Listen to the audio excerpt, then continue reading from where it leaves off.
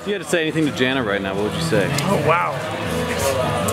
Um, corn dogs. That would be the first thing I would say. She knows what that means. Julia, Julia was giving me some explicits of how attracted she was to Jana, so that's good.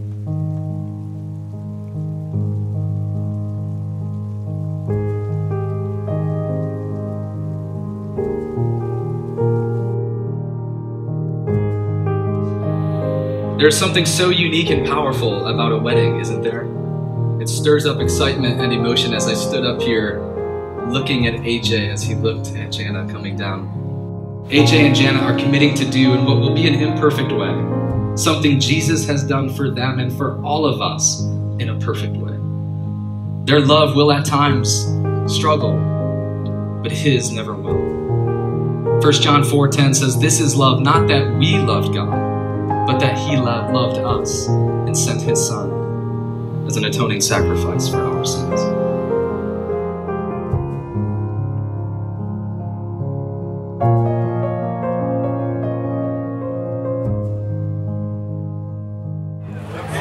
Yeah, I'm just super, super excited to see her.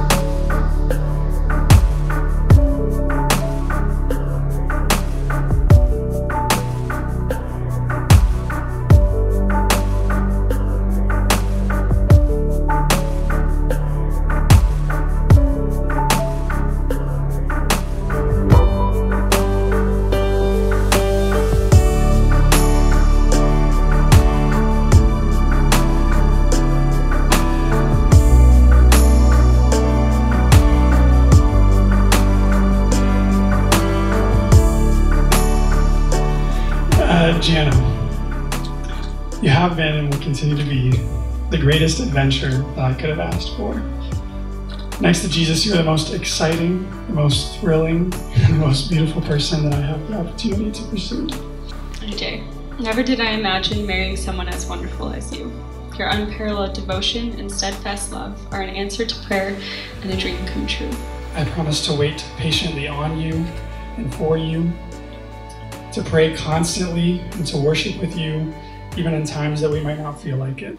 And I used to think that I wanted to be with someone who saw me as without flaw. But after two years of knowing you, I understand how much sweeter it is to be known and loved by someone who sees all of your flaws but chooses you anyway.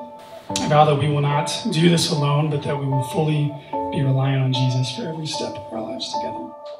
I promise to hold our marriage to a high standard and pursue our covenant even when in loveness fails, but not let time be an excuse for lack of effort. I love you, I like you, and I'm so excited to be yours.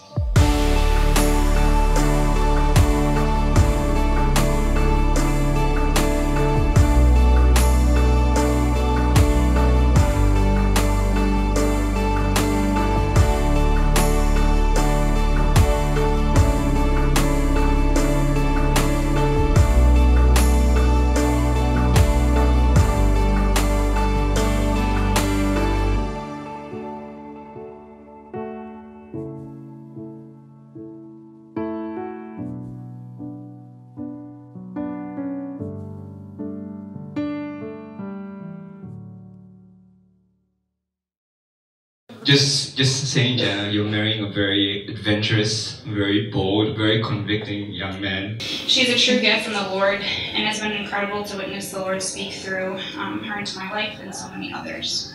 The wonderful thing about this relationship is their faith in God, and uh, they share that that strong bond, which is very unique for a couple, and uh, I think it's going to hold them together and, uh, for many, many years to come and make their marriage wonderful.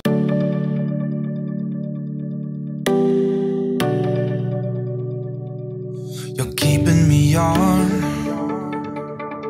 Yeah, I'm strapped in, stuck in a song.